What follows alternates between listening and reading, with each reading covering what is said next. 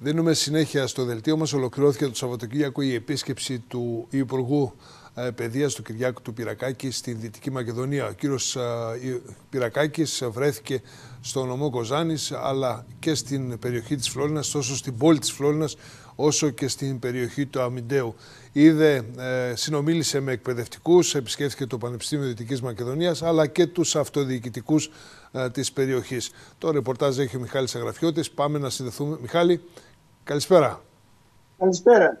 Από όλα είχε η επίσκεψη Πυρακάκη. Μια πρωτοποριακή επίσκεψη και τα δεδομένα της εποχής μας. Πρώτη φορά βέβαια επισκέπτηκε τη Δυτική Μακεδονία, αλλά είχε μέσα από ε, τα τσίπουρα, τα γνωστά τσίπουρα. Τσίπουρα. νομίζω ότι έχουμε ε, εικόνες από αυτό. Ε, συνέχισε να μιλάς μέχρι να, να είμαστε έτοιμοι να δούμε τις εικόνες. Ε, ο κύριος Πυρακάκης λοιπόν επισκέφτηκε παραδοσιακό από στα κτίρια της περιοχής της Φλόρινας, στην πόλη της Φλόρινας.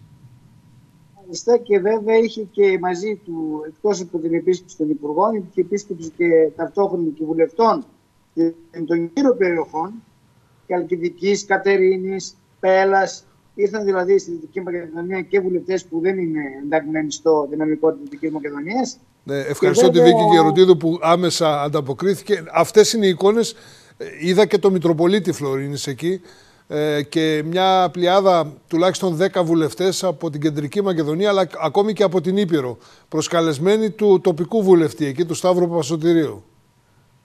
Οπότε είχαμε ένα μήνυ ε, κοινοβούλιο εκεί πέρα στην Φλόρινα και βέβαια συζητήθηκαν και πολλά θέματα που έχουν να κάνουν με την περιοχή. Όπως είπες πολύ σωστά με το διοικητικό συζήτηση κ. Σπερακάκη για το μέλλον του Πανεπιστημίου, αλλά και η ανακοίνωση που έβγαλε και ο Πρίτανης, πολύ σημαντική, ε, είναι ότι ο κ. Σπερακάκη υποστηρίζει με θέρμη τη διεθνοποίηση του Πανεπιστημίου Δυτικής Μακεδονίας, αυτό που το είπαμε και προχθές, και βέβαια τα ξενόγλωσσα τμήματα, να δημιουργηθούν και ξενόγλωσσα τμήματα, να δώσει δηλαδή άλλη πτυχή ο κύριος ε, Πυρακάκη του Πανεπιστήμιου Δυτική Μακεδονίας, με κονδύλια φυσικά, αλλά και με αρμοδιότητες και ε, πρόγραμμα σπουδών, το οποίο αρμόζει σε ένα πανεπιστήμιο διεθνοποιημένο σε επίπεδο ευρωπαϊκό, αλλά και σε παγκόσμιο επίπεδο. Έχοντας λοιπόν ξενόγλωσσα τμήματα στα αγγλικά και σε άλλες ευρωπαϊκές γλώσσες, και βέβαια έχοντας και τη χρηματοδότηση που χρειάζεται και τα μεταπτυχιακά και προπτυχιακά προγράμματα, διότι όλα αυτά κινούνται βάσει του χρήματος. Δηλαδή πρέπει να πέσει χρήμα στην Δυτική Μακεδονία και άλλο και να γίνουν κάποιες εξειδικευμένες σπουδές πάνω και στα ενεργειακά, που είναι πολύ σημαντικό, και για τις ανανεώσιμες πηγές ενέργειας, για την πράσινη ενέργεια, αλλά και για τον λιγνίτη. Και βεβαίως να γίνουν πάνω στον τουρισμό. Σε αυτό βοήθησε πολύ οι δομές που έχουμε στο αμύντεο της Φλόρινας, αλλά βεβαίως και στη διατροφική ανάπτυξη της περιοχής.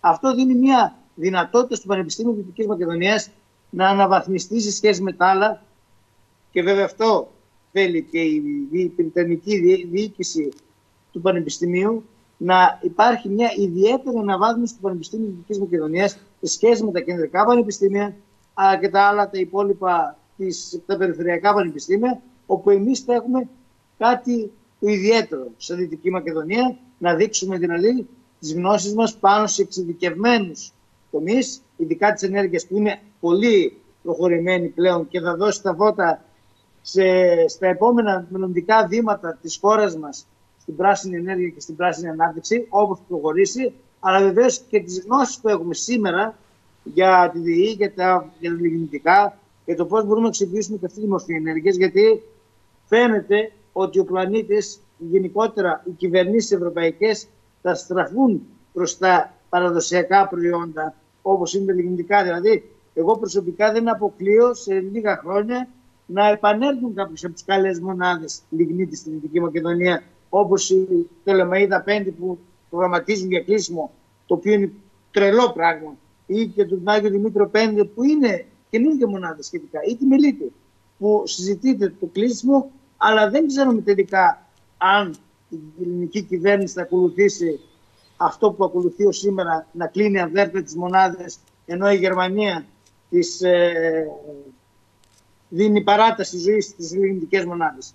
Αυτό είναι πολύ σημαντικό λοιπόν αν συνενωθεί και το Πανεπιστήμιο σε όλη αυτή τη δυναμική και οι σπουδές που θα δίνει το Πανεπιστήμιο και θα φέρνει ιδιαίτερους φοιτητές από το εξωτερικό στην περιοχή μας για να πλάβουν γνώσεις και ε, ενεργειακές γνώσεις που είναι πολύ σημαντικές στο ενεργειακό κομμάτι, ειδικά στην πράσινη ενέργεια.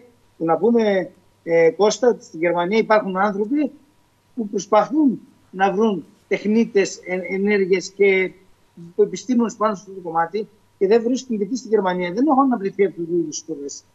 Όπως επίσης και ε, η τουρισμού που μόνο η Γαλλία έχει τα, τα, τα, ε, την πρώτη θέση και η Ελλάδα μπορεί να αναπτύξει μια πολύ καλή σπουδαστική κίνηση πάνω στα, εινο, εινο, στα, στα θέματα τα οποία πραγματικά η Γαλλία γιατί να έχει το, το, το καθεδρία. Και εμείς έχουμε πολύ αξιόπιστα κρασιά και μάλιστα τα βρίσκεις σε μεγάλα εστιατόρια, όχι μόνο την Παρισιού και την χώρα παραγωγής, αλλά λέμε και τη Νέα Υόρκη και το Λος Άντζελες και μεγάλες mm-hmm. πόλεις του εξωτερικού που έχουν βρει και την κόμματα της περιοχής μας και μπουκάλια, κρασιά που έχουν παραχθεί στην περιοχή μας και νιώθω περηφάνεια για αυτό το πράγμα που δεν βλέπω.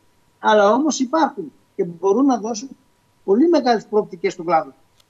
Υπάρχει πλούτος δυστυχώς ανεκμετάλλευτος στο βαθμό που θα μπορούσε να, να αξιοποιηθεί και το μικροκλίμα εκεί του Αμυντέου ε, και της περιοχής της Δυτικής Μακεδονίας γενικότερα νομίζω ευνοεί τέτοιες καλλιέργειες του πρωτογενή τομέα ε, του αμπελιού και των προϊόντων του. Και σαφώς και το Πανεπιστήμιο, όπως σωστά είπες, ε, με αγγλόφωνα τμήματα, με διδακτορικά ή μεταπτυχιακά, με τμήματα σπουδών μπορεί να, να παίξει ένα ρόλο στην Νοτιοανατολική Μεσόγειο σε πολλούς τομείς. Τα ενεργειακά είναι ένας τομέας και τα νέα δεδομένα ακόμη και με, στην, ε, στην ε, τεχνητή νοημοσύνη ε, και άλλα ζητήματα. Φαίνεται ότι το Πανεπιστήμιο έχει μια εξέλιξη, τουλάχιστον έχει τις υποδομές, ιδιαίτερα στην Πανεπιστημιούπολη. Είδαμε εικόνες από την Πανεπιστημιούπολη. Νομίζω ότι μπορεί να παίξει ένα ρόλο ελπίζουμε όλοι να το κάνει. Βέβαια, ναι. Εγώ πιστεύω ότι με την επίσκεψη του κυρίου Περακάκη, δηλαδή τον γνωρίζει του κυρίου Περακάκη πώς σκέφτεται και τη φιλοσοφία του, θα δώσει δυναμική στο Πανεπιστήμιο που χρειάζεται, γιατί καταλαβαίνεις Κώστα στην Ελλάδα για να κινηθεί ένα γρανάζι χρειάζεται δουλειά πολύ που λέει και η κυρίση. ε, δηλαδή πραγματικά, αν δεν βάλουν στην Αθηνά και αν δεν βάλει το Υπουργός στο χεράκι του και να πιέσει τις δομές του Υπουργείου να δώσει την κατάλληλη εξέλιξη, δεν υπάρχει προοπτική. Αλλά όμως δεν υπάρχει πολιτική βούληση, τότε υπάρχει μεγάλη προοπτική και βεβαίως να πετύχουμε και τις συγκυρίες ώστε να, είμαστε, ε, να γίνει το Πανεπιστήμιο Δυτικής Μακεδονίας ένα σύγχρονο ευρωπαϊκό και βεβαίως διεθνές πανεπιστήμιο το οποίο θα προσελκύει κόσμο και από άλλες χώρες, όχι μόνο από την Ελλάδα, που μέχρι τώρα αυτό ήταν το, η θέληση του Πανεπιστημίου ήταν εδώ πέρα με αυτή τη φάση αλλάζει πλέον με τερίζια και γίνεται ένα πανεπιστήμιο το οποίο μπορεί να διεκδικήσει θέσεις και βέβαια σε παγκόσμιο επίπεδο. Σε ευχαριστώ πολύ.